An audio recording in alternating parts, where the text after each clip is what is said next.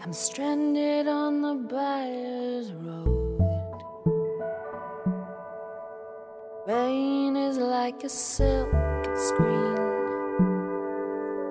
I'm walking in a straight line.